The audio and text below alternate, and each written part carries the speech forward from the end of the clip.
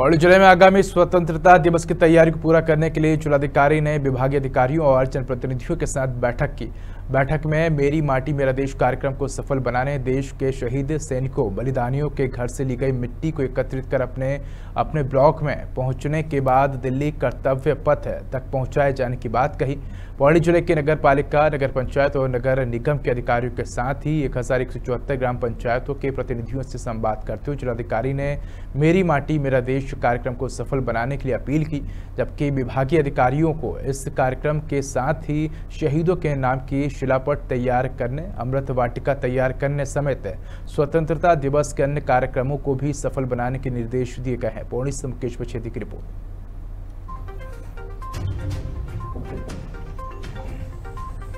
संबंध में हमारे को मेरी माटी, मेरा देश जो प्रोग्राम है, उसमें हमें शहीदों के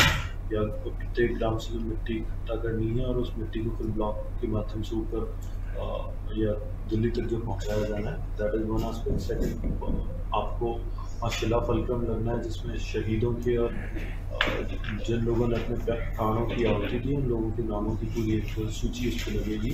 वहीं पर एक अमृत वाटिका भी होनी है जिस तरीके के मल्टीपल प्रोग्राम है जो नौ अगस्त पंद्रह अगस्त